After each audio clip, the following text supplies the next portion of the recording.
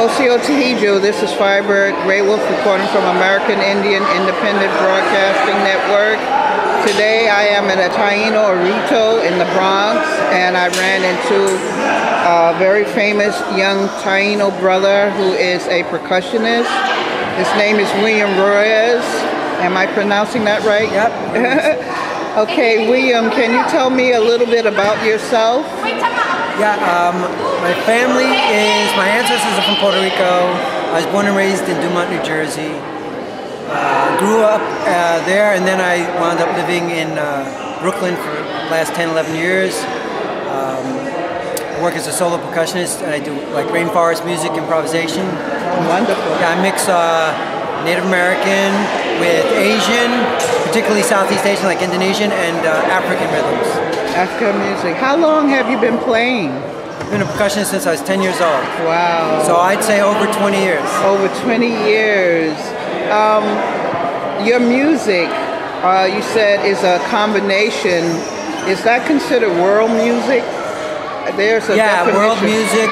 You know, it's world music. Also, just improvisational music. I work with a lot of jazz musicians, African American jazz musicians, um, and then. Uh, you know, I work with Jay, Jay Rodriguez. He's a pretty famous Colombian uh, horn player. He plays uh, tenor sax and woodwinds. And I work with this uh, famous percussionist from Senegal, Abdou Mouk, sometimes. Otherwise, I perform solo. Solo. My 12-tongue log drum setup. You were a Taino Award winner of the year 2012. Yes. Can you tell me um, what category that you won? Yeah, Musician of the Year, and I think it was 2011. 2011. I'm not sure, I forget. Uh, what are your future plans, William?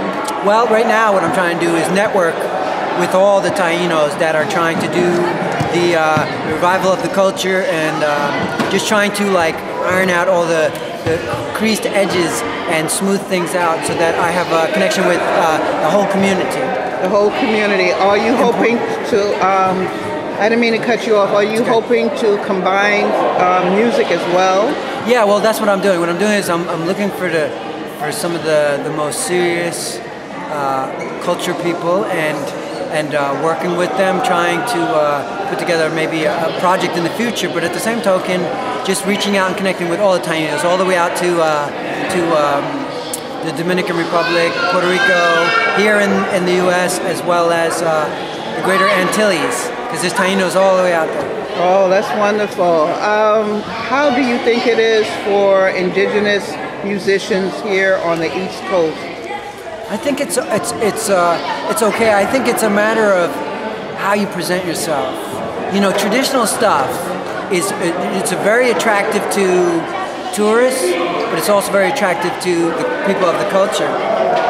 What I do is modern music and uh, similar to William Cepeda from Puerto Rico, where he presents bomba in a, in a modern way, he orchestrates it. So I kind of trying to do that with with uh, the Mayahuacan and the uh, the 12-tongue log drum and just uh, percussive rainforest types of sounds in general. I'm trying to like orchestrate it in a way that's more modern and and uh, so it, it's less chanting because for people of other communities, chanting kind of scares them. They're not sure what it means. so what I'm trying to do is present more instrumental Taino rainforest vibration musically, you know? Now that instrument, percussionist instrument that you play, I've never seen that before in my life. Yeah, that's the 12-tongue log drum. I actually have it with me. You have it with you? Yeah. Oh, be nice if you could play some music. I can play a little something if you want. Okay, folks, we'll be right back and let William um, get his Say tongue drum. Tongue drum. Tongue drum. Right, okay. like the tongue in your mouth. Tongue drum. Tongue drum. Okay, we'll be right back.